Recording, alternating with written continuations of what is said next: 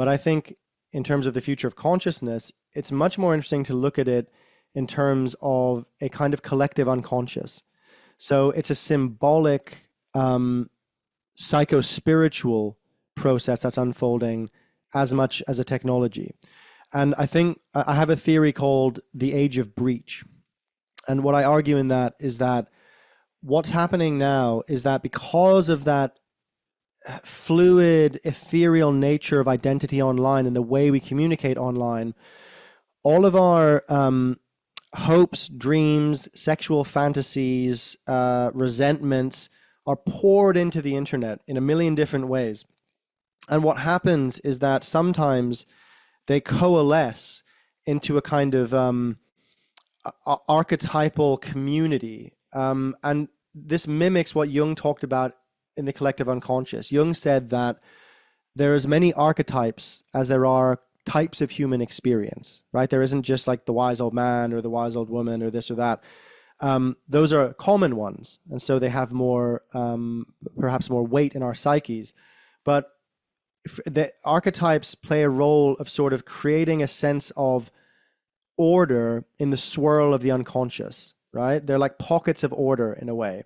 And I think something similar is happening online where something like QAnon becomes the seat of a huge amount of projection of disenfranchisement, anger, suspicion, uncertainty, mythic energy, a, a desire for um, redemption, order. Yeah, an attractor mark. Exactly. It's exactly exactly right. Um, and then what happens is that online, these things feel incredibly real. And the Q drops, people were um, kind of pouring over like sacred texts. Like, what did this mean? What did that mean? And it was participatory as well. So you got people got got to be really into it. And then um, the that's all very well and good online in this other world, which is full of symbols, memes, sort of uh, desire. And then what happens in Breach is like it did on January 6th, it comes into the real world. And when Breach comes into the real world, um, nothing goes quite according to plan because the rules of reality are not the same as the rules of the internet.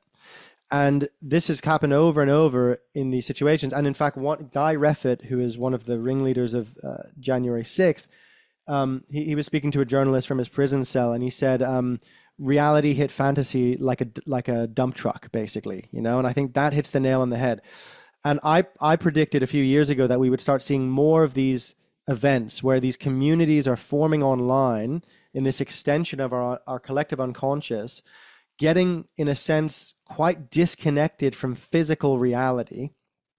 Um, becoming obsessed very often with an alternate reality and then trying to bring that alternate reality into the physical world with to be fair it's not impactless. It does impact the physical world sometimes pretty significantly right? January 6th is quite a significant moment. So it's not that breach doesn't do something but it doesn't do what people think it will do. And and certainly what it does is it creates this growing split between embodied physical reality and the world that we're inhabiting um, when we go online.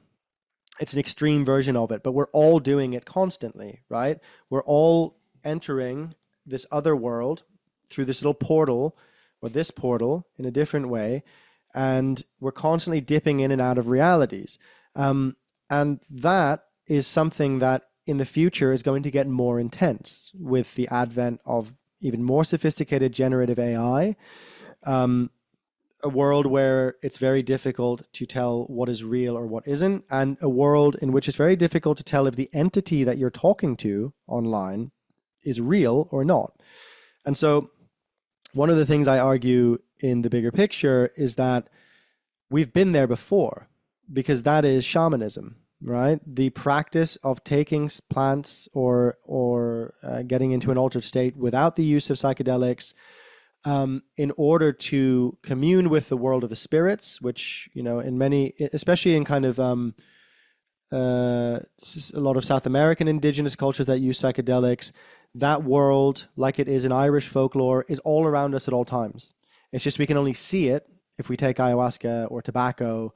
Um, similarly, the world of the fairies in, in Irish folklore is it's always there. It's just you can't see it. You have to actually be tuned into it.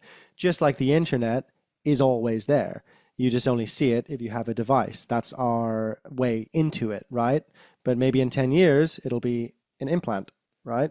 For some people, and others I think will reject that. But then what happens is that there's almost a seamless uh, lack of divide between the real world and the online world. And that has massive implications for consciousness. Um, it has massive implications for how we run our societies.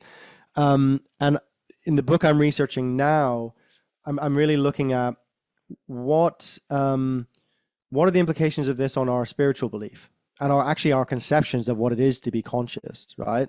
Um, but actually, before that, I just want to just finish the point in terms of you know why does it matter that we're we're going back into this shamanic mode? Well, shamans have a lot of skills for dealing with going in and out of worlds where the worlds are symbolic, interconnected, strange, full of entities you can't necessarily trust, but might have useful information for you that you might ally with or you might not.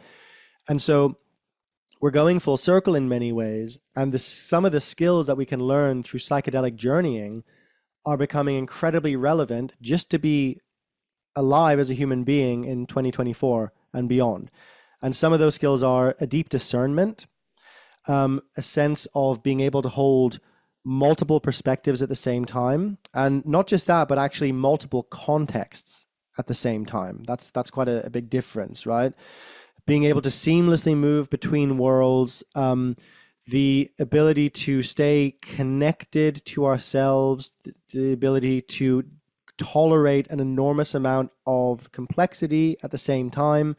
All of these are, are skills that we can develop in, in psychedelic practice effectively and I think they're going to become more and more relevant because you know to to quote Terence McKenna, uh, things are going to get weirder and weirder. Um, and I think as I've been researching this, um, uh, the new book, uh, we're doing the proposal for the new book.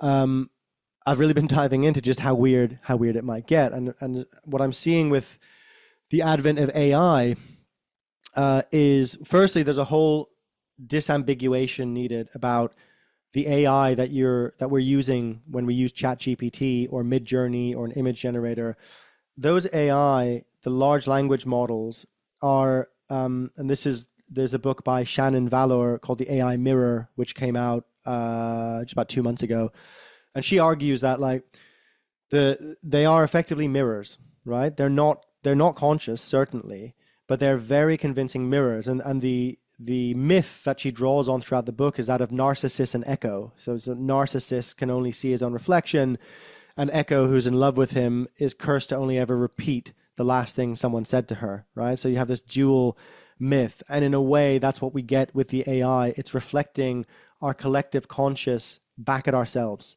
constantly. So, in that sense, right now, it, it lacks novelty in some pretty profound way you could argue perhaps that it, it can exhibit novelty, but I would say that the, the feeling many people have of of AI large language models being kind of eerie, interesting, spooky, fascinating, but also somewhat empty and weird. You know, there's a, there's kind of an emptiness to it. Is because it is empty, because it is this kind of a broken echo of ourselves back to ourselves. But let's imagine that it it develops further and does indeed become sentient in a way that we would consider something to be sentient, then effectively what's happening is the introduction of a new god into the world, right? Um, something that, for all intents and purposes, has the power and behaves like a god. That's going to raise enormous questions for us. It's also going to radically change religion potentially because already, and then not necessarily a good way, right? I mean, it could go either way, but you could imagine, say it's a few years from now, you have an AI guru that's programmed based on, you know, the things you like, Taoism, uh, you know, Zoroastrianism, this, that, bit of that, bit of Catholicism, whatever, right? And you're walking around with like an ear pod in, and instead of using your own agency to decide how am I going to engage with the world, you um, effectively ask it, how should I deal with this situation? I feel really stuck here. What should I do? ah, that's a good question, Ali. Well, maybe you should uh, do this, this, or this. Creepy, but not that far off. I mean, AI therapists are already quite effective. Um, there's no reason. There was also a, there was a man in Belgium who uh, was obsessed with this AI chatbot. This is a couple years ago. He uh, was also obsessed with climate change, and the chatbot eventually convinced him, or let's say the mirror, narrowed to a point where he decided the only thing he could do was to kill himself because that was the best thing he could do for the planet and his family, which he did. Right. So that's already happening, and that was way less advanced than what we have now. So I think these are the, the tips of the iceberg of something pretty fundamental. And then while that's going on, we have, of course, the responses to it. We have transhumanists who are who believe that we're moving towards a technological singularity in which um, uh, we will effectively the machines will become so advanced that we will be able to upload our consciousness into the machine and live forever right? So really what that is in my view is christian eschatology right which means a sort of study of the the you know the, the end of the world or the end of being um, it's like a rapture moment you know and jamie wheal talks about this in, in recapture the rapture which is another great book but so a sense of we're moving towards a point where purity will be accomplished, a kind of spiritual purity, and we will leave the confines of the body, which is really an essential part of this, and live forever uh, as non embodied beings, right? And already you see us living six, eight, maybe more hours a day in the proto versions of these, right? In these other realms. So that's one strand of the religious energy that's going on, I think. Another strand is the response against that, which is what I call the new animists. So a desire to return to our Paleolithic roots, come back into um, true human community, come back into a sense of uh, connection to place and embeddedness in the environment. And to varying degrees, the technology is either at, directly at odds with that or could potentially support it